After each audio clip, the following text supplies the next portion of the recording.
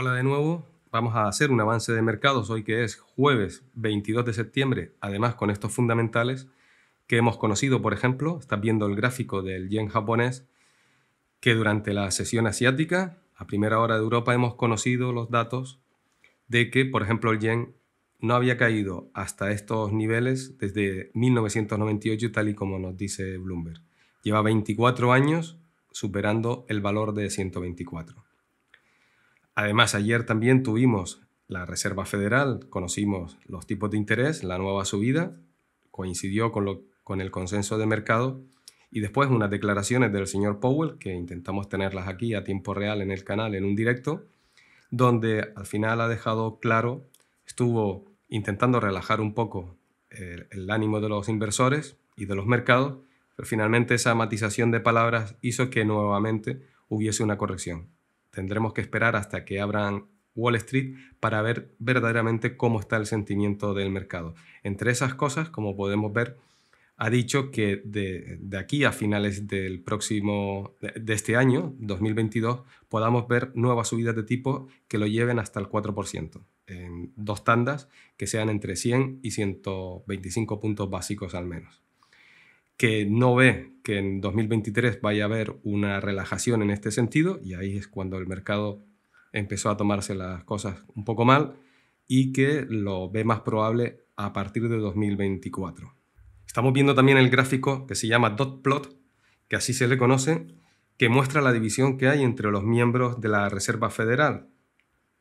precisamente en cuanto a la relajación de tipos de interés para los siguientes ejercicios.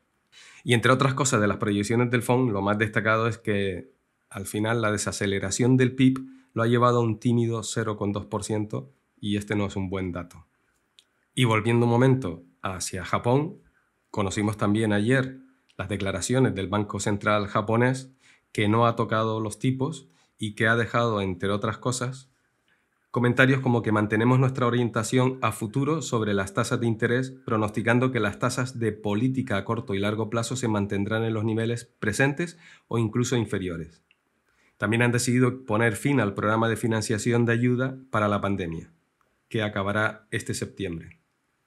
Y ahora en aspectos técnicos, rápidamente, Bitcoin finalmente, después de haberse estado produciendo subidas por encima de los 19.126 según se iban conociendo las declaraciones con una alta volatilidad, tal y como pudimos ver en el directo y estar valorando,